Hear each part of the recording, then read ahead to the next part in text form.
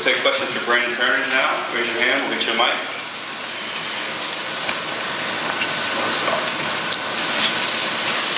Uh, I'll start with Brandon. Brandon, Coach Martinez was just in here and said, you know every, you know, all the spots in the, in the back end of the defense. What do you like? Where, where would you like to play position-wise? What's your favorite?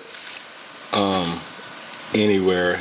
Is- I'll play anywhere. I like playing all five of them. Well, actually six in dime. You know, sometimes like last year I played in the dime spot. I played nickel, played corner.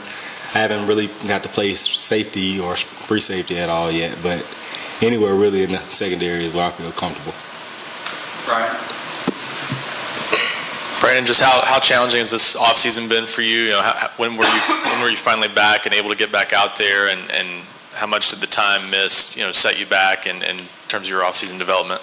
Um, really, the time sitting back, it really didn't set me back any because we were still learning. We were still watching. We were still in and watching other guys go through the um, formations and sets and everything. But um, this offseason, it was it wasn't really a struggle because you know I had my teammates.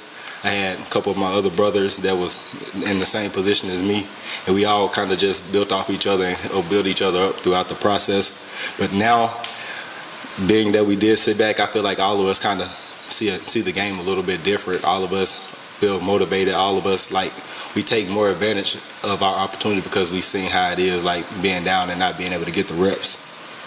Austin? You, you switch from 29 to 8, you go to that single digit. Uh, what, where's that number come from? And then, is there a certain confidence level with coming with getting a number you maybe are more comfortable in than, than one you're not? Um, that's a good question. Um, actually, I didn't really pick the number eight. You know, um, I did ask for another number, and you know, the number eight was just given to me. Um, but I do feel like it's a certain level of confidence and swag that comes like with getting a number that you feel more comfortable in. It can help you build your confidence. In some in some scenarios, you know, I used to be number seven. I love the number seven, and anytime I put it on my back, I knew that I was going to go out there and I was going to have a day.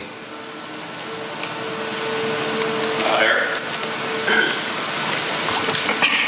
Saw some playing time in certain spots last year and, and performed pretty well. What did you learn from those experiences to where, you know, when those guys got back from injury, you kind of set back and, uh, you know, able to build on that, I guess?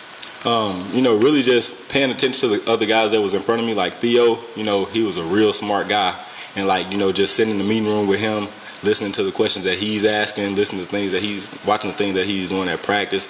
All of that kind of helps. Like, and just having an older guy that has a lot of experience and you know has been through a lot of stuff, like even behind Warren and stuff like that. Those guys are like smart, and if you just watch them, you can learn so much. Brandon, I don't think I don't think you're the first guy to come from to Tennessee from Alabama or go the other way. But do you? I mean, you catch any grief for it? Does anybody give you a hard time just making that move across the rivalry? Nah, they really don't. Um, I get a lot of um, like good messages still from like fans from um, that school or whatever, and you know it, it's like it's it's no type of envy at all. They all support my daughter. They all check up on her and everything like that. Even my old teammates and stuff like that. So I feel like that's a pretty good thing. What, what were your initial impressions of, of coming here and making a move from uh, a program that's been really good to one that's maybe not been as good? To build on it, to build on it, and help us get to that level. Kellyanne in the back.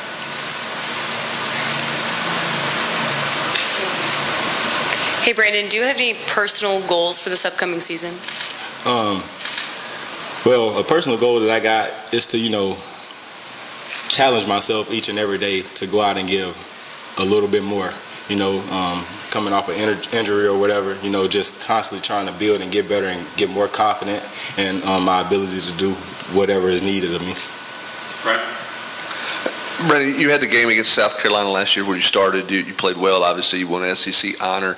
Then you didn't get to play a lot after that. How much did that test your patience, and, and, and how tough was that to get thrown into the spotlight, perform well, but then not get as, as many opportunities down the stretch? Well, I've always been taught to be ready whenever my time, my number is called, and so I mean, it really didn't it really didn't make me feel any type of way, or anything, because I knew I knew that I had to play my role.